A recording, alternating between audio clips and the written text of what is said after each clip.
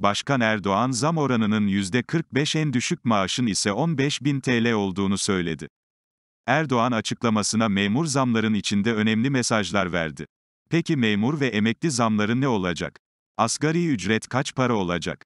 Emekli ve memura seyyanen zam gelecek mi? Merak edilen tüm soruların cevaplarını A Haber canlı yayınında Takvim Gazetesi Ekonomi Müdürü Faruk Erdem verdi. Başkan Recep Tayyip Erdoğan, dün Beştepe'deki toplantıdan kamu işçilerinin zam oranlarını resmen açıkladı.